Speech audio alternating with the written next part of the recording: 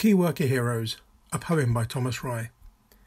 As lockdown continues, we're still confined to our homes, but we're doing our bit, not merely being lazybones.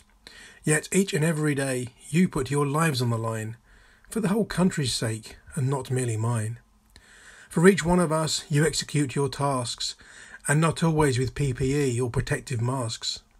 Your selfless bravery simply fills me with awe and our appreciation is like nothing before. On a daily basis, you take your life in your hands along the length and breadth of all our homelands. Across Great Britain, we offer you our thanks. You're worth so much more than the fat cats in banks. You do your job for its love and not for its glory, making your sacrifice such a heartwarming story. So thank you, all key workers, from the bottom of my heart. You have proved that caring is not a dying art.